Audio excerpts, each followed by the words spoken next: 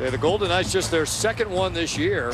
Same thing for Minnesota. Minnesota had its first shootout just earlier in the week. They lost in San Jose. And the Golden Knights a loss earlier this season against St. Louis.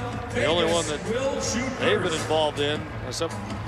Robin Lehner was in net for that one. So Jonathan Marchessault first over the boards Number 81, for the VGK. 0 for 1 this season for Vegas. Picks up a little speed and a save Talbot.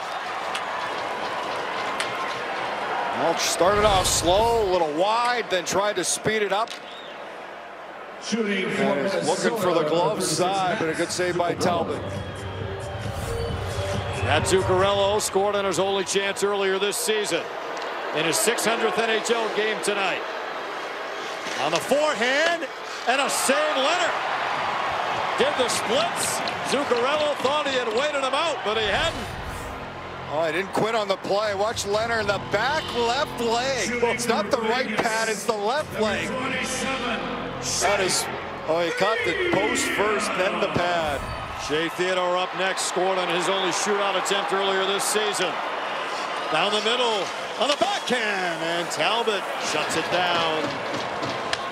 Talbot stayed right with him. We've seen Theodore do that move before. Loves to go to the backhand upstairs, but Talbot doesn't bite.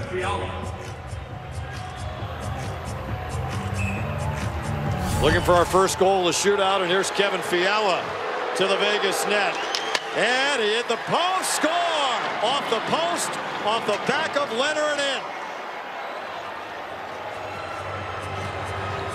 Oh, that one just rolled across as Fiala comes in. Off the post, off Lehner, and in. A tough break. So now the Golden Knights need a goal from Alex Tuch to keep it going. Here comes Tuch.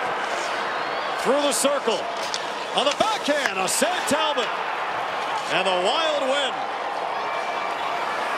Cam Talbot shuts down all three Vegas shooters in the shootout. And it's a victory for Minnesota in the shootout, 3 to 2.